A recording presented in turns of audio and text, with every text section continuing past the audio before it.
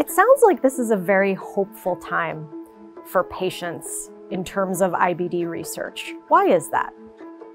So you're right, Christy, it is a very hopeful time, mainly because we've seen a lot new treatments become available. And most of these supported by the foundation in terms of getting to the approval stage. We're also seeing biosimilars become available, which increase the access options for patients.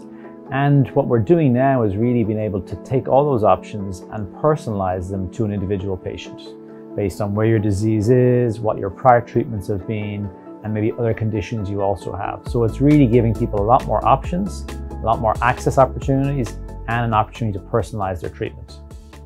In our impact report, we share our recent findings on IBD and psychological stress and how we're moving closer to personalized medicine.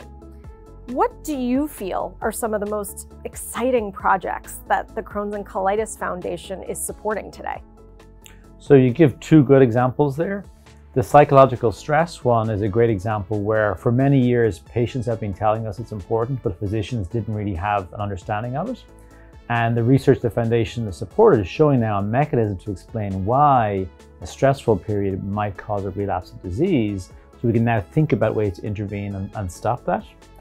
On the second topic of um, assessing disease and biomarkers, we now have some projects funded by the foundation where we're doing ways to monitor disease activity remotely via assessing sweat, for example, for biomarkers. And again, giving people more tools to assess, is my disease going to relapse? And knowing that earlier rather than waiting until it's happened. I'd like to switch to your role as a gastroenterologist. You see patients and their journey firsthand. What advice do you have for them when it comes to the doctor-patient relationship? So this is a very timely topic. Unfortunately, most clinic visits now are 15, 20 minutes long.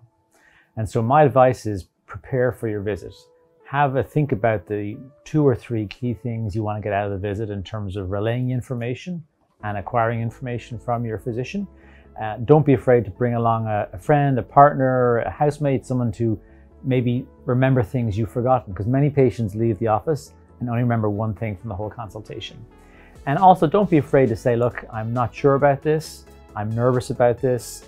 I, um, I need to trust you on these things. And there are many gray areas in medicine, sometimes as much as art as it is science. So be willing to accept those challenges and also you know, explain to your physician areas that you're unsure about or nervous about to help them understand what your priorities are.